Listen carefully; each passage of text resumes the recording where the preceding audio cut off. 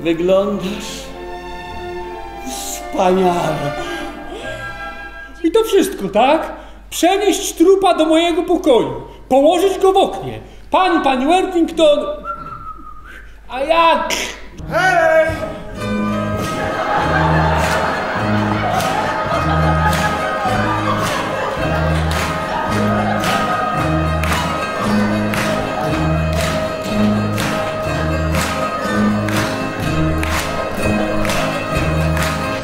No i po co ten pośpiech? Cholera, miał pan rację! Pan i pani Piglen, pokój 650 są obok. Niemożliwe. Tak! Roni, super był! Super!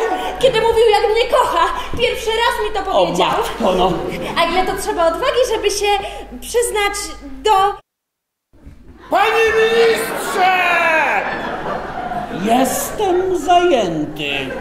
To ty też masz pokój w hotelu? Tak, pan minister mi zafundował, idziemy! Jak to? Obok, idziemy! Tylko my dwoje! O czym ty mówisz? O nas obok, taka szansa już się nie powtórzy! Szansa na co? Żeby się... Kocha!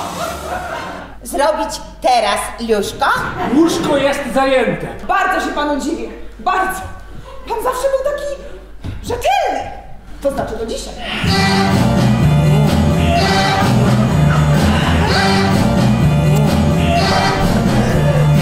Najpierw znajdę moją żonę, a potem zawrokę ją do domu tego cholernego Pigdena. Roni, po co to wszystko? Ja muszę się z nim rozmówić. Roni, zaczekaj!